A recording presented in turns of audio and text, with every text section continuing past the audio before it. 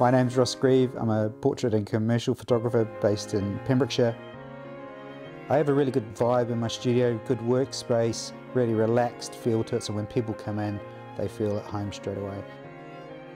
GH5 for me is a real turning point, it's a game changer. This has allowed me to dabble my toe into pet photography. Because of 4K and 6K photography, I could exploit that high frame rate and capture those moments and freeze them, which are really hard to do in the studio.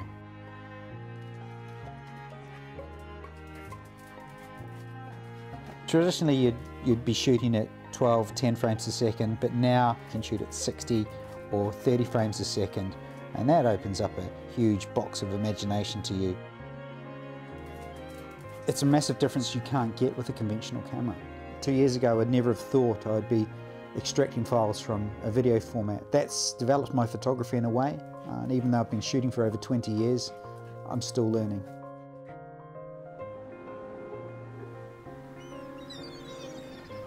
If I'm shooting down really low, I can flip out the screen and tilt it to whatever angle I want.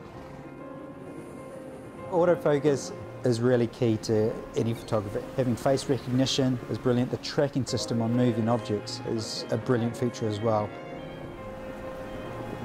You can shoot a lot faster, you can capture those moments you may normally miss, whether it's your dog running or you're on the beach trying to um, photograph your friend on a horse. There's so many options. Your creativity will shine through in your photography.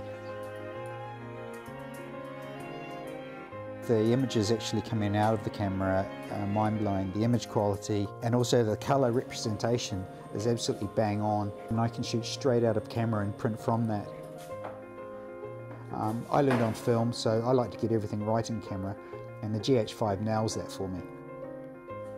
It's going to make my photography business stronger and it's also going to make the way I shoot a lot easier and it's uh, going to make the impossible possible.